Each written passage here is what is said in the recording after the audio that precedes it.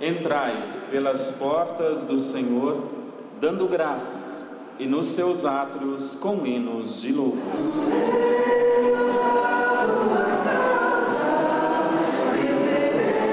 Momentos de emoção e expectativa.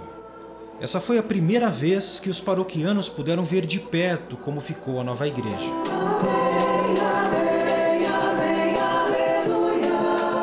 A missa presidida por Dom Hamilton Manuel da Silva, bispo auxiliar de Curitiba, marcou a inauguração do templo e a dedicação do altar.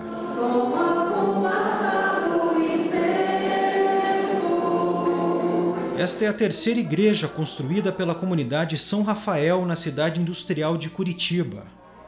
A primeira capelinha feita de madeira foi erguida em 1969. Seu Benjamin lembra bem dessa época. Madeira, bem simplesinha, né? Pouquinha gente, né? O que eu me lembro da, da, da capelinha de madeira é isso aí, né? E daí logo chegou as irmãs, então daí já começaram o programa aí de fazer uma igreja maior, né? As três igrejas estão retratadas neste painel, em local de destaque no novo altar. Uma história de lutas e muitas conquistas que é motivo de orgulho para a comunidade compartilha a mesma alegria que a comunidade está tendo, né?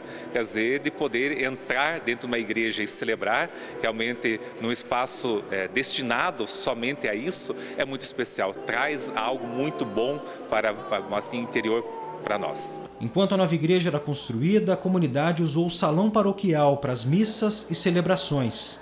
Foram cinco anos de espera até que o templo ficasse pronto. O povo da comunidade está de parabéns porque eles nos receberam muito bem, pedidos. O Padre Marcos, sensacional, no sentido tanto espiritual como de angariar o seu rebanho para que o povo se sentisse preparado para trabalhar e fazer essas doações. Nós só organizamos, vamos dizer assim. A inauguração também marcou os 50 anos da comunidade e 38 anos da paróquia. Edifício de Deus, construção do Senhor emoção mesmo, porque a gente trabalhou, né? A gente ajudou a organizar as festas, tudo, né? Então é, a sensação é muito boa, né? Motivos para comemorar, eles têm de sobra. Um sonho da comunidade, desde que eu cheguei aqui na comunidade paroquial, o sonho deles era uma igreja com cara de igreja. Já e propriamente acredito que realizamos esse sonho, né? de uma igreja realmente expressão dessa presença de Deus em meio à comunidade. Senhor.